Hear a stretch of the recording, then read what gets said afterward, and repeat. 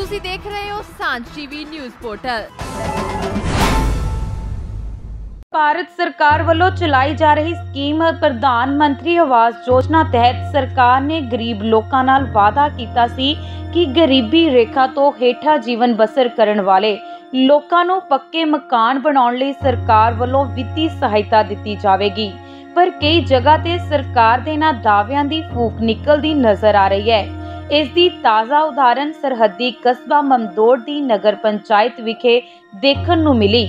ਜ਼ਿਕਰਯੋਗ ਹੈ ਕਿ ਨਗਰ ਪੰਚਾਇਤ ਅਧੀਨ ਆਉਂਦੇ ਤਕਰੀਬਨ 485 ਯੋਗ ਪਰਿਵਾਰਾਂ ਨੂੰ ਹੁਣ ਤੱਕ ਮਕਾਨ ਬਣਾਉਣ ਲਈ ਪੈਸੇ ਜਾਰੀ ਨਾ ਹੋਣ ਕਾਰਨ ਲਾਭਪਾਤਰੀ ਪਰਿਵਾਰਾਂ ਵੱਲੋਂ ਪੰਜਾਬ ਸਰਕਾਰ ਦੇ ਖਿਲਾਫ ਰੋਸ ਪਾਇਆ ਜਾ ਰਿਹਾ ਹੈ। ਲਾਭਪਾਤਰੀ ਪਰਿਵਾਰਾਂ ਨੇ ਦੱਸਿਆ ਕਿ ਸਿਰਫ 71 ਪਰਿਵਾਰਾਂ ਨੂੰ ਹੀ ਪਹਿਲੀ ਕਿਸ਼ਤ ਜਾਰੀ ਹੋਈ ਹੈ। ਪਰ ਇਹ 71 ਪਰਿਵਾਰ ਵੀ ਦੂਜੀ ਕਿਸ਼ਤ ਨਾ ਮਿਲਣ ਕਾਰਨ ਅਧੂਰੇ ਪਏ ਮਕਾਨਾਂ ਤੇ ਤਿਰਪਾਲਾਂ ਪਾ ਕੇ ਠੰਡ ਦੇ ਮੌਸਮ ਵਿੱਚ ਬੜੀ ਔਖੀ ਜ਼ਿੰਦਗੀ ਬਤੀਤ ਕਰ ਰਹੇ ਹਨ। ਲੋਕਾਂ ਨੇ ਪੰਜਾਬ ਸਰਕਾਰ ਖਿਲਾਫ ਰੋਸ ਜ਼ਾਹਰ ਕਰਦਿਆਂ ਸਰਕਾਰ ਪਾਸੋਂ ਮੰਗ ਕੀਤੀ ਹੈ ਕਿ ਜਿਨ੍ਹਾਂ ਲੋਕਾਂ ਨੂੰ ਪਹਿਲੀ ਕਿਸ਼ਤ ਜਾਰੀ ਹੋ ਚੁੱਕੀ ਹੈ, ਉਹਨਾਂ ਲਾਭਪਾਤਰੀ ਪਰਿਵਾਰਾਂ ਨੂੰ ਦੂਜੀ ਕਿਸ਼ਤ ਜਾਰੀ ਕੀਤੀ ਜਾਵੇ ਤਾਂ ਕਿ ਉਹ ਆਪਣੇ ਅਧੂਰੇ ਮਕਾਨਾਂ ਨੂੰ ਪੂਰਾ ਕਰ ਸਕਣ।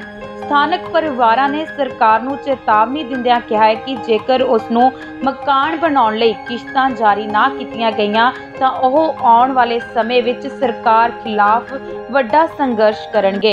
ਅਸੀਂ ਵੇਲੇ ਠੰਡ ਦੇ ਵਿੱਚ ਬੈਠੇ ਹੋਏ ਆ ਤਰਪੈਲਾਂ 'ਚ ਬੈਠੇ ਆ।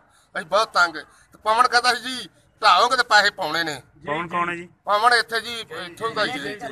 ਕਮੇਟੀ ਘਰ ਚ ਆਹੋ। ਉਹ ਪਤਾ ਕੀ ਕਹਿੰਦਾ ਸੀ ਕਬਰ ਢਾਓਗੇ ਤੇ ਪੈਸੇ ਪਵਾਵਾਂਗਾ। ਤੁਹਾਡੇ ਤਾਂ ਪਾਸ ਕਰਾਵਾਂਗਾ। ਇਹ ਪਵਨ ਦੀ ਗੱਲ ਏ।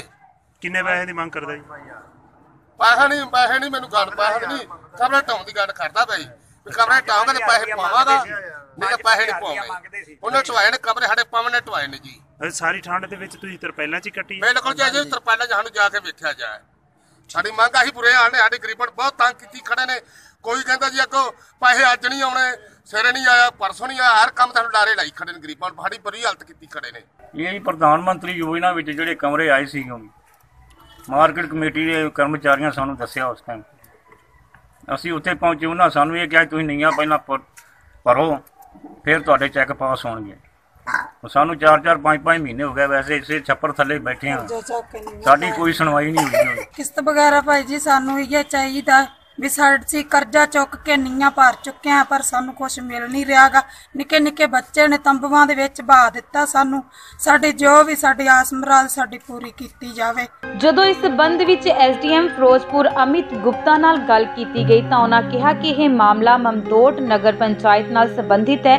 ਇਸ ਸੰਬੰਧੀ ਕਾਰਜਕਾਰੀ ਅਧਿਕਾਰੀ ਤੋਂ ਰਿਪੋਰਟ ਮੰਗਵਾ ਕੇ ਇਸ ਸਮੱਸਿਆ ਦਾ ਜਲਦੀ ਹੱਲ ਕੀਤਾ ਜਾਵੇਗਾ ਅਤੇ ਜੇਕਰ ਕੋਈ ਸਰਕਾਰੀ ਦਿੱਕਤ ਹੈ, ਕਿ ਤਾਂ ਉਹ ਉੱਚ ਅਧਿਕਾਰੀਆਂ ਦੇ ਧਿਆਨ ਵਿੱਚ ਲਿਆ ਕੇ ਇਸ ਸਮੱਸਿਆ ਦਾ ਹੱਲ ਕੀਤਾ ਜਾਵੇਗਾ। ਫਿਰੋਜ਼ਪੁਰ ਤੋਂ ਸੁਖਚੈਨ ਸਿੰਘ ਦੀ ਰਿਪੋਰਟ। ਤੁਸੀਂ ਦੇਖ ਰਹੇ ਹੋ ਸਾਂਝ ਟੀਵੀ ਨਿਊਜ਼ ਪੋਰਟਲ।